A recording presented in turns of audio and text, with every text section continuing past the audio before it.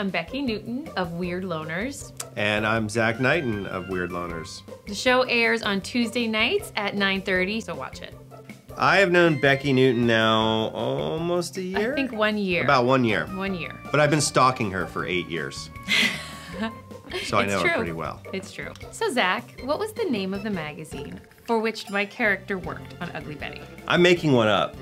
Duh. I'm gonna say USA Weekly. Mode Magazine. Mode? It was Mode Magazine, and I answered the phones. I'd say, Mode Magazine, how can I help you? And then I would just hang up. Mode. It was a great magazine. the career of Zach's character Dave on Happy Endings was dog sled driver, You wish. food truck owner, close, very close. What happens if nobody wins? that means we just don't know anything about each other. Who played Becki's love interest on How I Met Your Mother? This is where I take the game. Ready? Neil Patrick, Harris. Neil Patrick Harris. Harris. Oh, you're winning. Which horror movie remake did Zach star in with Sophia Bush? Ready? Yeah. Friday the 13th, Zach is back. The Hitcher. With a bloody knife. Ooh, you should have given me the bloody knife hint. Then I really would have gotten it. What would Becki say is the perfect place for a first date? On the couch, making out. Times Square.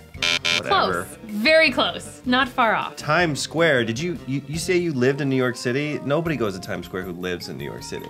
If you ride the subway, you do. Zach would say something you should never say on a first date. Did you bring contraception? Oh, that's a good one. I thought Zach would argue against buy whatever you want. That's actually pretty good. I feel like I feel like you should get a half point for that because I, do I get half a point? give her half. Okay, good. What would Becki say is the weirdest thing about her? Okay, ready? Go. That she's not weird at all. I bake lasagna to show affection for people. That's the second lasagna reference you made today. This is why I thought you would know it. I was trying to help you out. According to him, the weirdest thing about himself. Can I lie? I'm feeling solid about this one. No, it has to be the truth.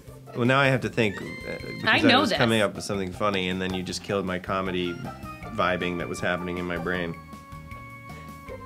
One, two, three.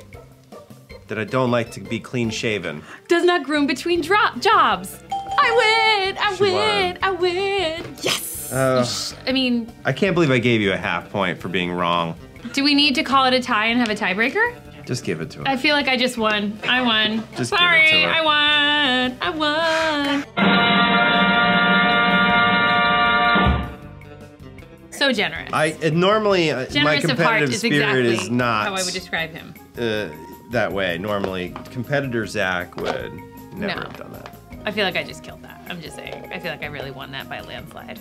Well, I'm gonna rub that in his face the rest of the day. I will.